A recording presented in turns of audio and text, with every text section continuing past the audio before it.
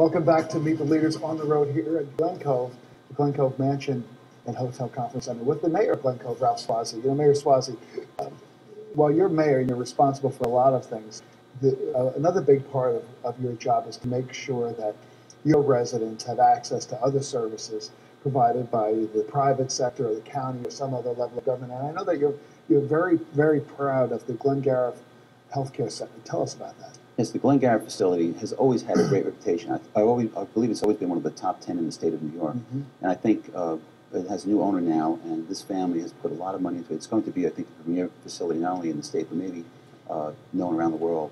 Um, I was at a dinner there last night. Uh, they're doing remarkable things. It's like going into a hotel. It's, it's luxury rehabilitation for the ordinary person. So, what kinds of people end up going there for rehab? There are people who have uh, short-term needs. They need to learn how to re, relearn how to live Who on may, their who own. may have had a stroke? Right, and some people long-term care, nursing home. My own grandmother uh, was there uh, many years ago, so it has a long-term aspect and a short-term. They have rehabilitation. Um, it's, I went down there for a tour. We had ribbon cutting there a couple weeks ago. It really is a beautiful. What Uh, about those kinds of investments?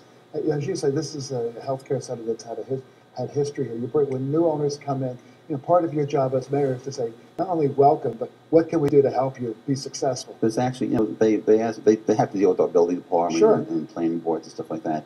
But it's nice to see the reinvestment in that particular um, building. It's commercial property as well. Pays a lot of taxes. It has dialysis. Uh, they asked me to put a sign up. They, they had an old black sign with, with letters that reflected and lights it, which they want to replace, and they want to put it on a piece of city property. I said yes, but I want some. I want to be able to help you design it. I don't want it to be too big, and so they helped me let me help choose the colors. And it sits out there now, and it's beautiful. It looks like an old estate sign. Which is what you want. You want to create some consistency